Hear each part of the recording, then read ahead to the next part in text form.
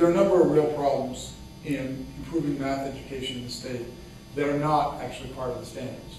Um, I think the standards are necessary for us to have a quality set of standards that people can understand that actually reflect a competitive level of mathematics. The current school is about an eighth grade level of mathematics, uh, and it is not adequate for, for students. Um, deeper problems are that we have 50,000 teachers today, and while many of them do have a fair amount of mathematical expertise, many of our elementary school teachers, in fact perhaps most, don't. Uh, and this is a severe problem uh, because in order for them to effectively teach mathematics, they have to be able to understand it. Or they have to have tremendous materials. And this has been one of the problems with Discovery Mathematics. If you have an amazing teacher and a small class size and you can be really engaged, it's a very powerful way to learn mathematics. However, neither of those situations are true in Washington in general. And it's very hard to talk about teacher quality in a statistical way. And I don't want to talk about teacher quality. I want to talk about this is a level of preparation in a particular area of expertise. So we're going to have to raise our level of content knowledge requirements for people entering the teaching profession, particularly in the elementary grades.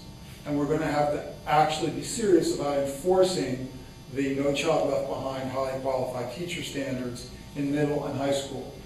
And that is going to be difficult uh, because, for example, today I have no information system that tells me what a teacher's certification is. Uh, there's a pile of paper in the basement of the castle in Olympia that you can do this, but it's not possible to do it in any statistical way. So one actually has to sort through the paper. We have to find a couple million dollars to create a system that works better for that, uh, so that we can tie those results to student learning results and actually track what knowledge really does matter in improving uh, education results. Um, next big issue I would argue is curriculum. And we're going through a curriculum adoption process that is as painful as the standards adoption process. Uh, we have sort of one good result in the list that OSPI came out with. Linda Plattner and the State Board are doing a separate list. Uh, I'm not sure how we'll go about resolving it. But it won't matter unless we actually have money to pay for the curriculum.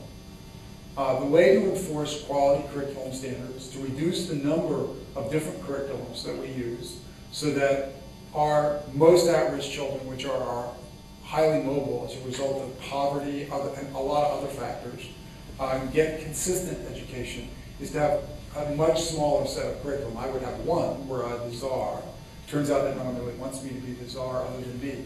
Um, yeah, really, I, my children particularly do not. Uh, my daughter was quoted in this week's Bellevue High newspaper as saying in some article about how people formed their political opinions that despite having me as a father, she didn't line up naturally with all of my views, particularly around the WASL, as pointed out in the newspaper. Um, we'll need to have better standardized tests for kids that exit the system and for progress checks along the way. And here's a place where every state having their own standards is insane um, because it requires every state to have their own exam. Now we're about 2% of American population in Washington and it costs us a fortune to develop our own test every year. So I don't understand why we are different than, say, Indiana or California or Arkansas. I do know why we're different than Arkansas. But um, the, trying, we're trying to build a consortium of states uh, around the Achieve people, the American Diploma Project, uh, where the states would all agree to use a consistent set of exams. And Achieve has actually done a reasonable job with their first release, which is an Algebra 2 exam. And this is not like a single effort project. You can't just create a test. And say, that's it, we're done. We use the same. It's not like the, the accounting professor my father had in college who used the same test with the same questions in the same order for generations. And he had, they, had, they were on file at the fraternities. You could pull out. My father, the only way my father got through accounting school at Penn was he memorized the answers. And had he actually had to, you know, regurgitate the mathematics behind one of these, or had they been out of, out of order, uh, you know, I certainly wouldn't have been able to go to college. Um, But, um, trying to have, you have to have an item bank, it has to change over time, it has to be consistent. It's very expensive to build these tests. We spend tens of millions of dollars a year on it. It would be much better to spend the same money for 13 or 14 states and have this work out. Um, also, I would observe to you, and I don't know if this is true for you, Glenn, I have never, ever had a parent call me and bitch about the content of the SAT. And if they did, I'd give them the phone number in Princeton that they could call. And I would really like to be in that situation with exit exams. Um, but, but this is one where we'll then be able to have a much higher level of rigor on these exams because they'll be external to the state. Um, and that's something that we may eventually have to get done at the national level. Um, I, I would agree with Mr. Dean, was that, um, on the content, mentioned one time that the, that there's too much in any given year, and that's largely because they keep circling around topics. Um, when we looked at this in Bellevue and really tried to understand why our results were pretty erratic compared on the WASL compared to our results on the Schmidt, uh, the TIMSS study, which we had done, and we've done a number of other tests, which had pretty consistent growth over time.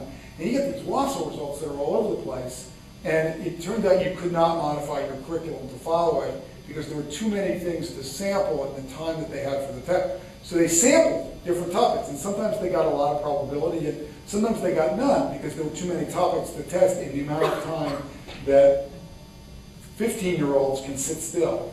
Uh, and it's even worse in the, in the younger grades. And so trying to reduce those content will improve the quality of those tests, we would hope. Um, my last two comments, and I always limit mine to what I can do on an index card, um, is other people who've looked at the new standards give them a B, not a C, so you may be a hard grader. Um, so we want to, you know, we want to look at the Z-scores of your grading over time, you know. Um, uh, but then I'd like to leave you with a piece of advice that uh, Dr. Mike Riley left me. Now, Mike's not a math guy, or he wasn't a math guy. If you know, Bellevue superintendent passed away recently, um, much too early. Um, he was an English professor, not a math teacher, which was a clear issue. Uh, was not real good at listening, uh, but he had many other positive attributes. Um, and the advice he gave me was, yeah, you can spend a lot of time on all this standard stuff, but it doesn't really matter because most of these teachers aren't real strong on mathematics, and all they're going to do is follow the curriculum. So you'd probably be better off picking a good curriculum and then basing the standards on that rather than the other way around. But I'm not sure how well that would work. We've got a set of standards that, for better or worse, are much better than what we had before. We'll move forward with them for a while. Hopefully we can make incremental improvements over them. We have to do this same dance on science. Uh, and the science WASL results are worse than the math results. Um, and we need to reimpose a graduation requirement in mathematics soon, um, or we will never be able to do it. There is very severe risk this year that we will lose all of our graduation requirements, which would be an unmitigated disaster for children uh, in this state, particularly children of particular of historically underserved population groups, where we would be able to go back to leaving them in the back room for another three or four generations. Uh, it's been over 50 years since Brown versus Board of Education. I'd like to actually make the system better and not revert. So uh, that's something that I am going to ask you to push your representatives about, is that we do need uh, standards on what students need to know to succeed in the world. Uh, they ought to be strong, they ought to be reasonable. Uh, you can do both of those at the same time. So, thank you.